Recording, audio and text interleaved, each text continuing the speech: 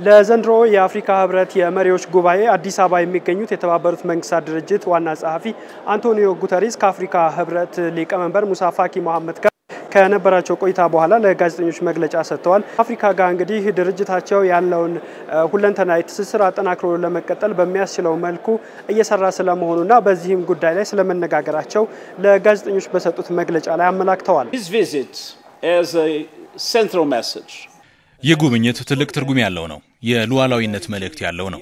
ለአፍሪካ ህብረትና ህዝብ ሉዓላዊነት መከበር ያተኮረ ጉብኝት ነው። የተባበሩት መንግስታት በአፍሪካ ሰላም ለማስፈን ልማት ለማምጣትና ለሰብአዊ መብት መከበር የሚደረገውን ጥረት ሁሉ ይደግፋል። የተባበሩት መንግስታትና የአፍሪካ ህብረት ግንኙነት መጠናከር ለዓለም ትልቅ ትርጉም ያለው ነው። በዚህ መሰረት ግንኙነታችን እየተጠናከረ ነው። በተለይም አፍሪካ የጥይት ድምፅ የማይሰማባት አህጉር እንድትሆን በተያዘው አጀንዳ በሰብአዊ መብት፣ በጾታዊ እኩልነትና በአየር ንብረት ለውጥ፣ በዘላቂ ልማት ግቦችና በአፍሪካ አጀንዳ 2063 አጋርነታችን የሚቀጥል ይሆናል።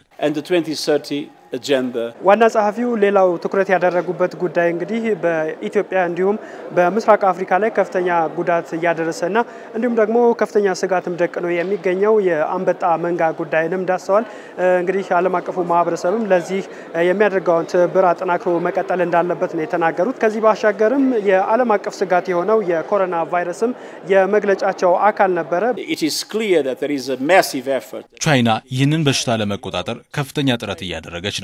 የሚደረገው ጥረት የሚደነቅ ነው። ቻይና በእርግጥ በሽታውን በመቆጣጠር ሂደት የገጠማትን ፈተና እያሳወቀች ነው። እኛም ዓለም አቀፍ ተቋም እንደመሆናችን ሁሉም የዓለም ሀገራት በሽታውን ለመቆጣጠር የሚያደርጉትን ጥረት እናደንቃለን። በተለይም ለአፍሪካ ልዩ ትኩረት እንሰጣለን። በሽታው በጣም አደገኛ እንደመሆኑ ቀድሞ የመከላከል አቅምን ማጎልበት ይገባል።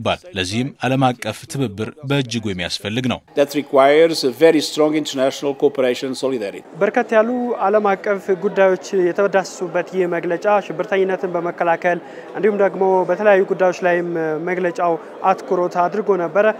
ከነዚህ ውስጥ አንዱ እንግዲህ የደቡብ ሱዳን የተረጋጋ መንግስት ምስረታ ሂደትም ተጠቅሷል ማለት ነው። በዚህ የመንግስት ምስረታ ሂደት ውስጥ የደቡብ ሱዳን መሪዎችና ፖለቲከኞች ለህዝባቸው ሲሉ መቆርቆር አለባቸው ነው ያሉት።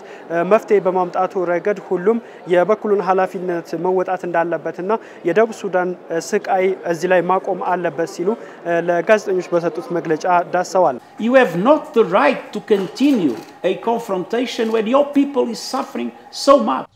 ህዝባችሁ በጣም እየተሰቃየ እናንተ ጠባችሁን የምትቀጥሉበት መብት የላችሁም። ደቡብ ሱዳን ወደ ሰላማዊ እንቅስቃሴ እንድትመለስ ማድረግ የእናንተ ሞራላዊና ፖለቲካዊ ግዴታ ነው። የደቡብ ሱዳን ፖለቲከኞች በመንግስት ምስረታና በሌሎች በርካታ ጉዳዮች መስማማት የግድ የሚላቸው ወቅት ላይ ናቸው። and to deserve the wonderful people they have.